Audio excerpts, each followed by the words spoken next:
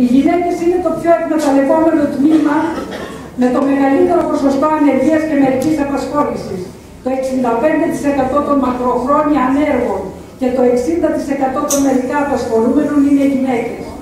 Οι γυναίκες που εργάζονται με ευέλικτες σχέσεις εργασίας στερούνται μια σειρά επιδομάτων τα οποία απαιτούν ορισμένο αριθμό ημερομισθείων όπως είναι το επίδομα γάμου, λοχείας, ασθένειας, ανεργίας και άλλα αφού δουλεύουν για μισό μεροκάματο, άρα και μισό ένσημο, ενώ οι εργοδότες μειώνουν το λεγόμενο μη μισθολογικό κόστος καταβάλλοντας χαμηλότερες εισφορές. Αντί για μέτρα προστασίας του γυναικείου οργανισμού από τους βλαπτικούς παράγοντες τους οποίους εκτίθενται οι γυναίκες στους χώρους δουλειάς, αντί για αύξηση των αδειών μητρότητας και θυλασμού, αντί για μειωμένα ωράρια ημερήσια και εβδομαδιαία, οι μητέρες εργαζόμενες αντιμετωπίζουν την απόλυση για την εργοδοτική τρομοκρατία, τα ωράρια λάστιχο. Η γυναίκα είναι έρμεος στα χέρια των εργοδοτών που θεωρούν την εργαζόμενη μέλουσα μητέρα ασύμφωνη για τις επιχειρήσεις τους. Γι' αυτό και βάζουν τις νέες εργαζόμενες να υπογράψουν συμφωνητικό ότι δεν θα τεκνοποιήσουν ή τις απολύουν μόλις μαθαίνουν για την εγκυμοσύνη τους. Η μητρότητα αποτελεί κόστος για την εργοδοσία και το αστικό κράτος, όπως απέδειξε και η πρόσφατη κατάσχιστη απόφαση του Ευρωπαϊκού Δικαστηρίου που δικαίωσε η Ισπανική εταιρεία για την απόλυση εγγύου εργαζόμενης.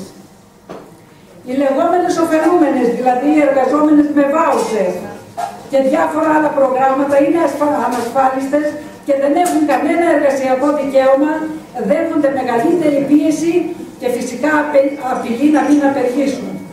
Τα προγράμματα αυτά στην πράξη ανακυκλώνουν την ανεργία, γενικεύοντας τις ευέλικτες εργασιακές σχέσεις και συμπιέζοντας προς τα κάτω μισθούς και συντάξεις. Οι εργαζόμενες με μπλοκάκι, που θεωρούνται εξωτερικοί συνεργάτες, δεν δικαιούνται άδειες, αποζημίωση απόλυσης, πληρωμή υπεροριών, επίδομα ανεργίας και τα πράγματα βέβαια είναι πολύ χειρότερα για τις μητέρες. Οι αυτοαπασχολούμενες φυτοζωούν και δεν ξέρουν πώς θα τα βγάλουν πέρα στο τέλος του μήνα με την αναδουλειά, με τους ατέλειωτους φόρους, τα χαράτσια, την πληρωμή δανείων, τις ασφαλιστικές εισφορές και στο τέλος μη αντέχοντας τον ανταγωνισμό με τα μεγαθύρια αναγκάζονται να κλείσουν το μαγαζί τους ή την επιχείρησή τους. Οι αγρότησες που δουλεύουν σκληρά ήλιο με ήλιο, εκτεθειμένες στις καιρικές συνθήκες, είναι συνήθως ανασφάλιστες αφού δεν φτάνουν τα χρήματα, χωρίς ιατροφαρμακευτική περίθαλψη, ενώ η σύνταξή τους είναι εξευτελιστικού ποσού. Οι γυναίκες αυτές είναι μακριά από κάθε συλλογική δράση, με ελάχιστες ανάσες ψυχαγωγίας και πολιτισμού.